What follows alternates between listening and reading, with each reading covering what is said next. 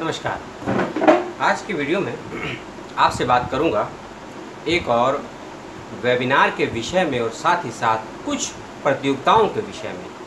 और ये वेबिनार होगा संस्कृत भाषा साहित्य दर्शन को लेकर और इन्हीं सभी विषयों को लेकर आप कुछ प्रतियोगिताओं में हो सकते हैं शामिल। जी हाँ कोई भी नहीं है नामांकन फ़ीस और सभी प्रतिभागियों को मिलेगा प्रमाण पत्र और यदि आप निर्णायक मंडलों, निर्णायक जो मंडली है पूरी, जो आपकी प्रतियोगिताओं के निर्णायक की भूमिका में है, यदि वह अपने नियमों पर आपको सर्वश्रेष्ठ पाती है तो आपको पुरस्कार भी प्राप्त होगा।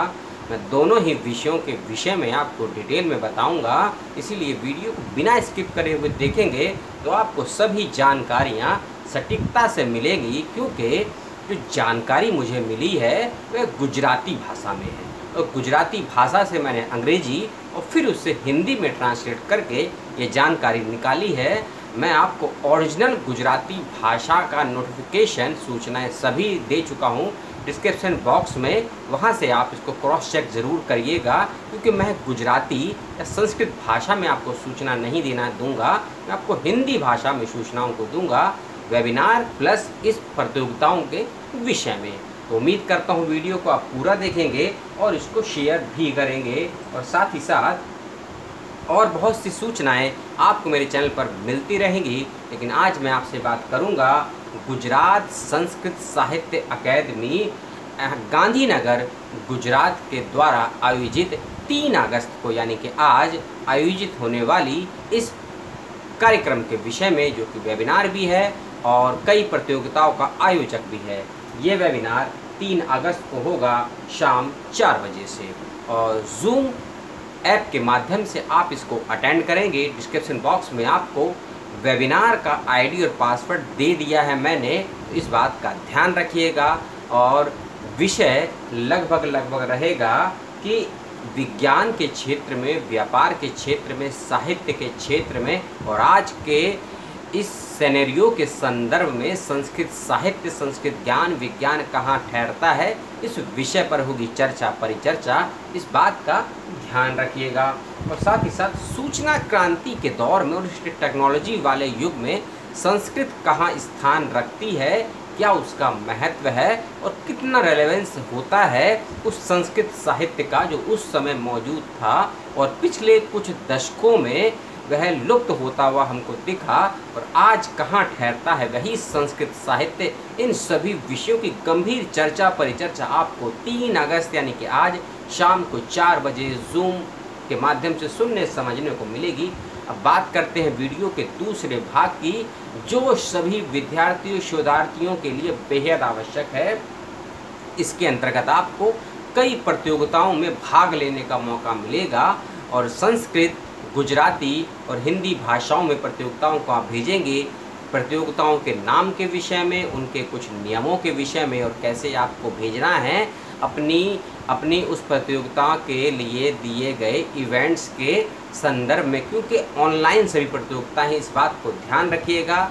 डिजिटल मोड से आपको रिकॉर्ड करना है, ऑडियो या वीडियो फॉर्म में क्या रिकॉर्ड करना है, वह मैं आपको बताऊँगा। इसीलिए वीडियो को पूरा ज़रूर देखिएगा। सबसे पहली बात जब आप इस प्रतियोगिता में किसी वीडियो का चयन करेंगे, क्योंकि इसमें आपको संस्कृत नृत्य है, गीत गायन है, श्लोक गायन है सत्रोत गायन है और वार्ता कथन है, आपका स्वयं का परिचय है और साथ ही साथ इन सभी प्रतियोगिताओं के कुछ कुछ नियम के विषय में मैं आपको बताऊँगा। और किस को आपको ऑडियो में किस को वीडियो में भेजना है, यह भी आपको बताऊँगा। इस बात का ध्यान रखिएगा। अब बात करते हैं दूसरी चीज़ की। जब आप वीडियो में खासकर अपने नृत्य को रिकॉर्ड करेंगे तो याद रखिएगा, अगर आप उसमें लिप्स और जब आप अपने परिचय को रिकॉर्ड करेंगे, मैं दोनों के विषय में बताऊँगा, लगभग लगभग पाँच मिनट तक का आपका वह ऑडियो वीडियो होना चाहिए। पाँच मिनट से अधिक का नहीं होना चाहिए। और जब आप किसी वीडियो और ऑडियो को रिकॉर्ड करते हैं, आपकी ध्वनि की गति मायने रखती है। ध्वनि का उच्चारण स्थान ऊपरी है, निचला है, मध्यम है, शांत है, इसका विशेष रूप से ध्यान रखिएगा।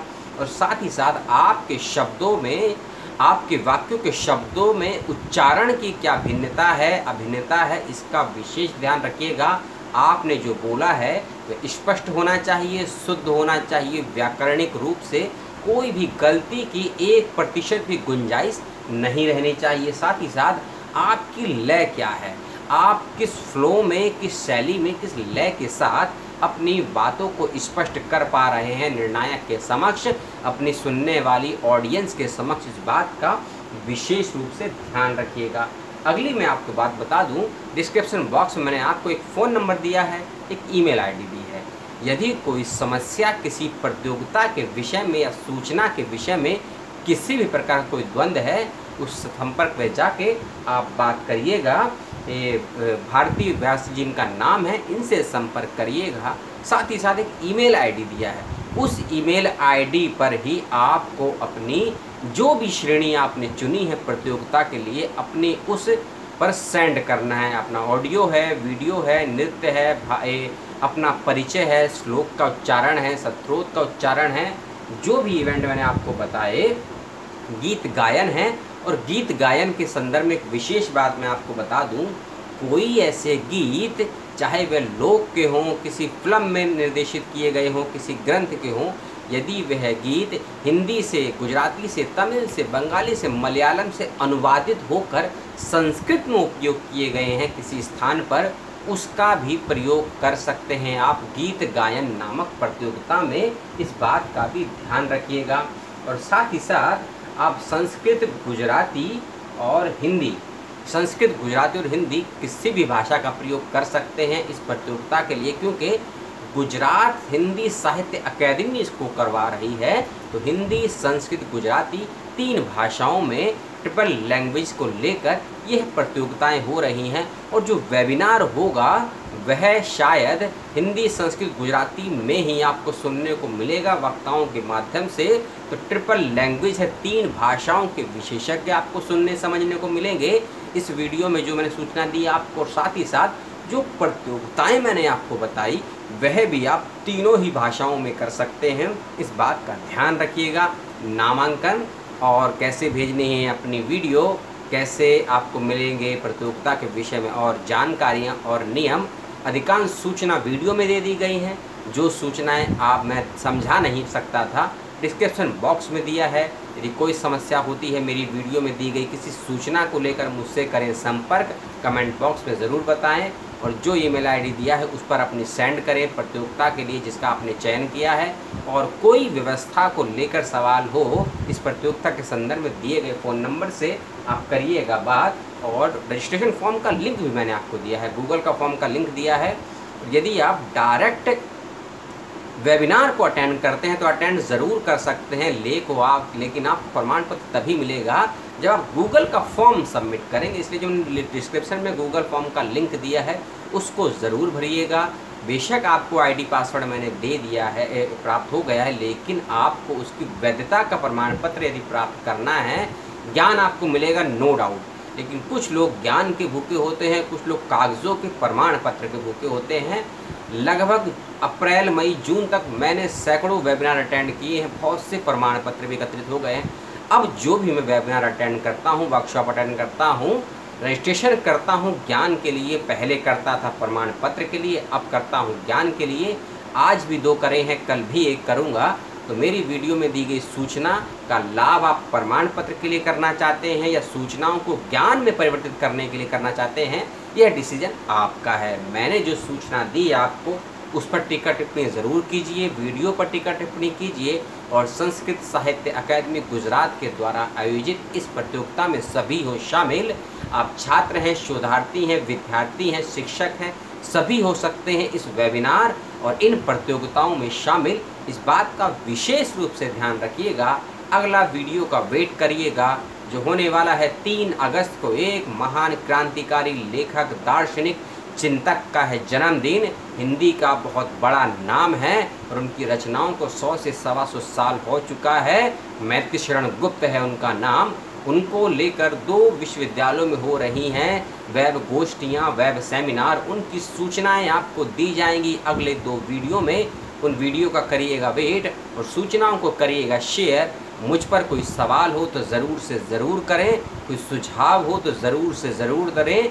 और किस विषय पर आप चाहते हैं वीडियो, यह मुझे बताएँ। और अगले वीक में तीन से चार फेसबुक लाइव होंगे। नई शिक्षा नीति को लेकर राफेल राम राज्य और राष्ट्रवाद को लेकर, भारतीय तिरंगे के इतिहास को लेकर और एक फेसबुक लाइव होगा, वर्तमान राजनीति और अर्थव्यवस्था को लेकर। उन फेसवाइक फेसबुक लाइव को ज़रूर से ज़रूर देखें और शेयर भी करें। उनकी भी सूचना आपको जल्द मेरे फेसबुक पेज पर और मेरे व्हाट्सअप नंबर के स्टेटस पर भी आपको मिल जाएँगी। इस बात का ध्यान रखिएगा। वीडियो पर प्रतिक्रिया दें, चैनल पर प्रतिक्रिया दें और कोई सुझाव, संपर्क, जिज्ञासा जो भी हो, वह ज़रूर दें और वीडियो शेयर ज़रूर करें। जय हिंद, जय भारत और रक्षाबंधन की पुनः सभी को शुभकामनाएँ। नमस्कार।